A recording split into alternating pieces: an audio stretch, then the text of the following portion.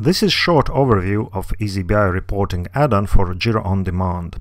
After installing add-on, you can select and import Jira project issues and select additional options like importing issue status transitions history.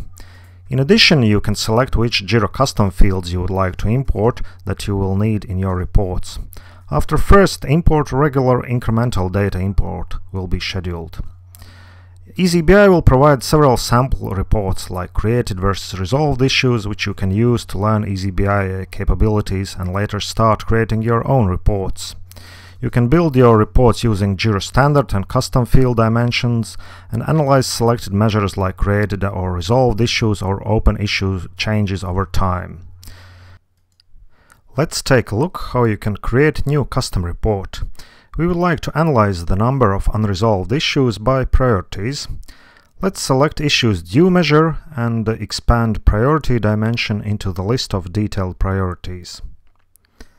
And now uh, we would like to see uh, how the number of unresolved issues is split by individual assignees.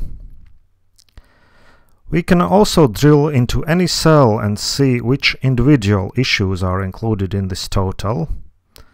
And when we have uh, seen the details, we can uh, go back to the summary report.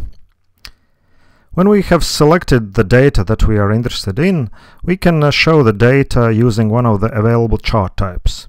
In our case, we'll use vertical stacked bar chart to show unresolved issues by priorities and assignees.